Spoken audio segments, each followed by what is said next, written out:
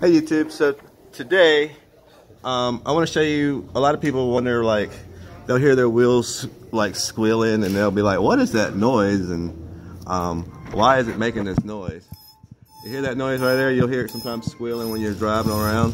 You're like, what in the world is that noise? You know, that little squealing noise. That other noise is an air impact wrench in the background. Well, I'm going to show you what that noise is and why it is and the purpose for it. Okay? So basically what that noise is, it's letting you know that your brake pads are worn down. Okay? And you'll notice that you see right here, if you can see up in there, if we can get a good angle here. You see how far that piston's out, that brake piston? Well, the noise is coming from what's called a squeal indicator. Okay? See if I can get the light on that.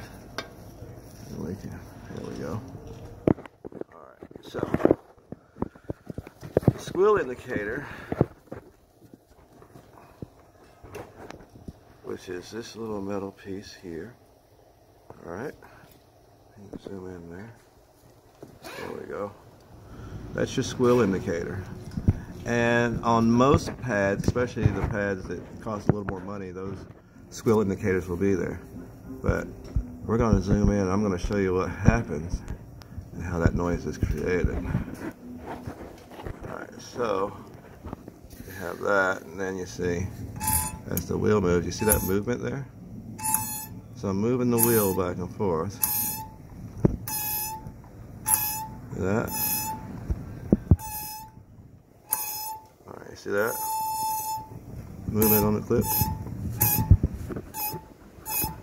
That's letting you know that your brake pads are wearing down and it's time to change them. And if you don't change them soon, you're going to cut into the rotor. And if you cut into the rotor, and of course that's going to cost you a lot more money because you'll either have to turn the rotor or you'll have to replace the rotor. So, again, people, when you hear this noise going down the road, or in your car, you might be moving slowly through a parking lot or something, and you'll hear it. It'll be a little squeaky noise like that. It's indicating that it's time to do your brake pads. All right? So, any questions, comments, posts, subscribe. Thanks for watching. Have a great day, YouTube.